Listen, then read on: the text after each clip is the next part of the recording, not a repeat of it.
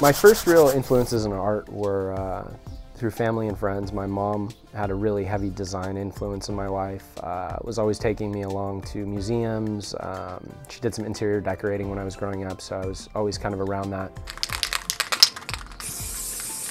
Seeing graffiti on my way to, to Venice Beach and um, Melrose and places like that, that was really, really a big catalyst for getting me to actually get involved in art. So I have about four or five different styles of work that I make.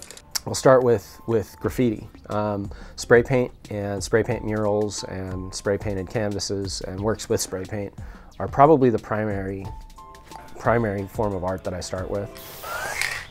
Everything that I do just about has some kind of spray paint, acrylic paint, and charcoal in it. Um, I work in a lot of different styles. I have uh, a more figurative style, which is all mixed media. Um, I have a very illustrative, surreal style that I work in.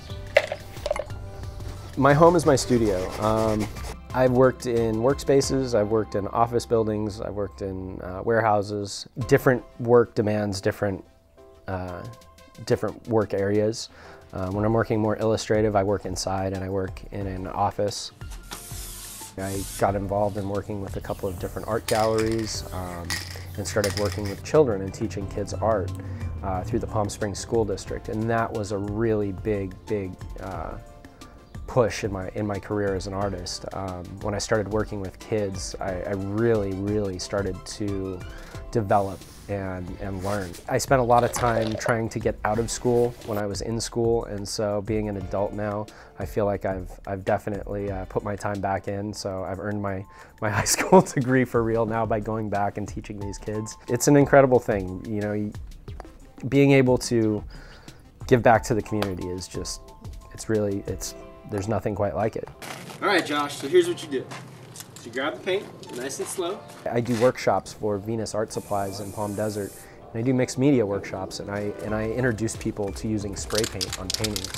And one of the most amazing things is having, um, having like somebody come in that's never created anything artistically in their life and having them pick up a spray paint can and a piece of charcoal and some acrylics or some oil paint or something, anything, and, and creating something that's completely raw. I draw and paint and create artwork every single day. And that is probably what has gotten me this far, is, is creating the work and making it every day, not talking about it, not conceptualizing about it, but actually really just sitting down and, and taking those thoughts and making them into realities and, and making, them, uh, making them into art pieces.